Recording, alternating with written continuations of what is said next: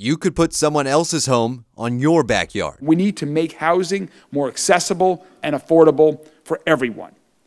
And so, one way that we're growing our housing diversity is through accessory dwelling units, or ADUs as they're commonly referred to. An AARP grant funded a competition for ADU designs. Those plans are now free for Louisville homeowners. The contestants were asked to consider universal design within the home, exterior design and compatibility with the neighborhood, sustainability, and efficiency. Take a look at the winners Studio Cohab, Studio Mayo Architecture, and Louisville Building Inspector Dana Tinsley.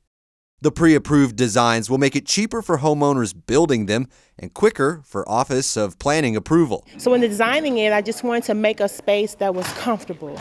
Um, not and it's, it's, of course AARP, so um, you know wheelchair it, it, will be wheelchair accessible because a lot of times it's for your mother-in-law who has gotten old and you may not want to put her in a nursing home. That comfort is squeezed into the 800 square foot limit ADUs have.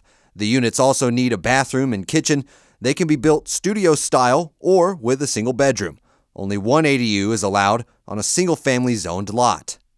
A newly formed Metro Council committee is working on zoning changes and expanding Louisville's housing stock, but now faces a year long state freeze on changes to city zoning that would have allowed for more construction of middle housing like duplexes or fourplexes. State Senator Julie Raque Adams pushed for the freeze.